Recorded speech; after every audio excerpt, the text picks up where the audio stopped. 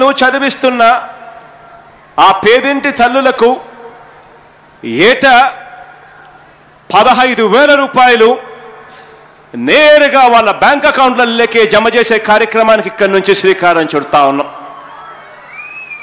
అంతేకాదు ఆ తల్లులకు గతంలో ఏదైనా బ్యాంకులతో అప్పులుంటే ఆ బ్యాంకుల వాళ్ళు ఇచ్చే ఈ సొమ్మును ఆ అక్క చెల్లెమ్మల పాత అప్పులకు ఇది సరి చేసుకోకుండా ఉండేందుకు బ్యాంకర్లతో కూడా మాట్లాడడం జరిగింది.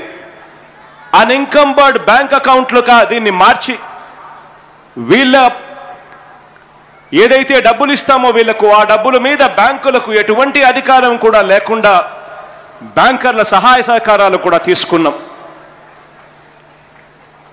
ఇలా అక్షరాల దాదాపుగా నలభై రెండు లక్షల పన్నెండు వేల మంది చిరుపిల్లలకు దాదాపుగా ఆరు వేల మూడు వందల పద్దెనిమిది కోట్ల రూపాయలు ఈరోజు వాళ్ళ అకౌంట్లలో అందజేసే కార్యక్రమానికి శ్రీకారం చుడతా ఉన్నాం. దాదాపుగా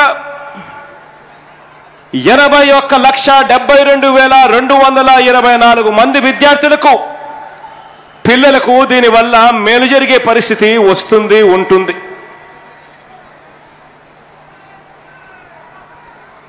రెక్కాడితే కానీ డొక్కాడని కుటుంబాలలో అమ్మ తాను పనికి వెళ్ళే పరిస్థితి లేకపోయినా కూడా తన పిల్లల చదువులు ఆగకూడదు అన్న ఆలోచనతోనే ప్రతి అక్క చెల్లెమ్మకు సహాయం చేసేందుకు ఈ అన్న తోడుగా ఉండేందుకు ముందుకొచ్చాడు.